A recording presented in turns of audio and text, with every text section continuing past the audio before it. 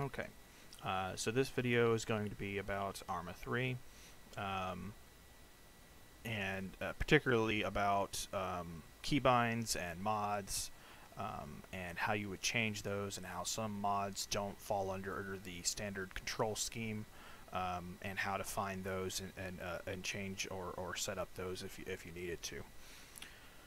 Uh, so we're going to be talking about two mods in particular. It's going to be the ACE3 mod and the Enhanced Movement mod, just to kind of give you two different examples. Um, the ACE3 mod is the uh, basically the number one mod for Arma. Um, it's the Advanced Combat Environment mod, and then uh, the Enhanced Movement mod. Um, so uh, one thing to, to, to realize is I'm actually relatively new to the to Arma, uh, PC gaming in general, but uh, uh, uh, also Arma. Um, and so making these videos and talking about them actually allows me to more um, understand them more and to ha have it more ingrained into it, so I don't forget this stuff later.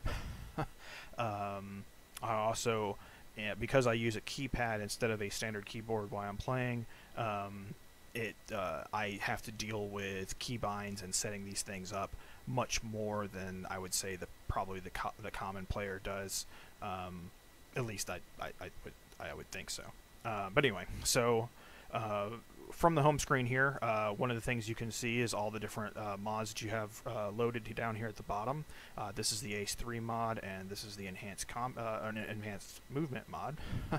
um, and you can actually click on any of these mods and have them pull up a screen to show you and talk about that mod but we'll go ahead and click on the enhanced movement just because it's a little bit different um, all the other ones you know will pull up like a, a, a website or, or you know like a, you know whatever community is the one that made it some information about it but the enhanced movement mod doesn't do that. Uh, it does, however, give you a couple of things that you can see here. Uh, you can see uh, some uh, some basic settings here, um, and the main thing is the keys. So has five different uh, uh, actions here, and then followed by what they actually would be uh, assigned to.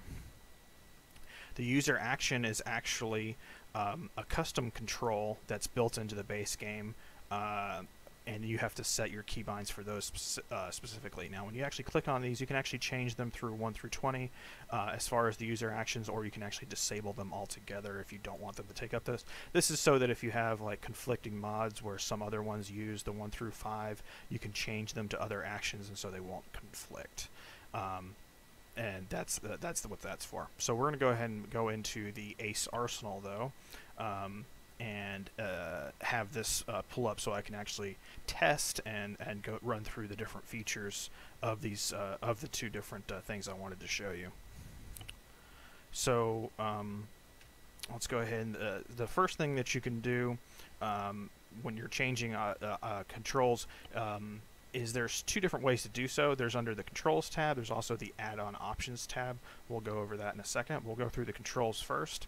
Um, so you can go through the controls and you can see I actually was messing with this earlier. That's under the uh, custom controls uh, tab, whereas normally you'd, you know, these are all your base base commands, and you scroll down and you can see custom controls. You would click on that, and you can actually assign a key to any of these yeah, unique custom controls. In this case, I just assigned three to this for, for testing purposes. Um, and the other way to set up mod uh, uh, keybinds would actually be to go to your configure add add-ons buttons down here and then you would actually go to your individual mods and select them. Uh, you'll see here in this list uh, enhanced movement mod is not located here, hence why you can't change it.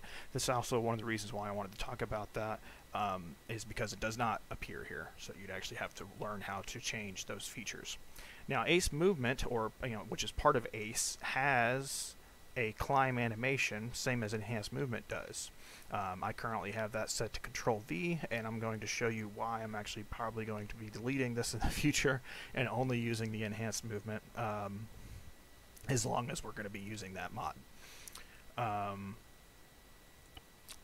the other thing I wanted to show was the add-on options and how that you can uh, that allows you to change in uh, different settings and features of different mods um, on your side as well as on the server side. But we'll see here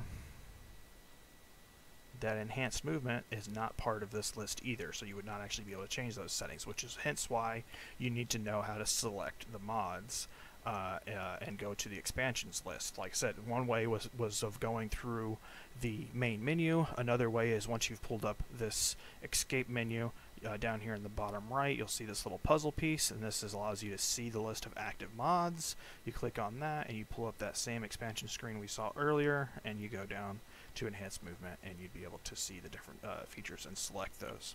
So that's how you would do that.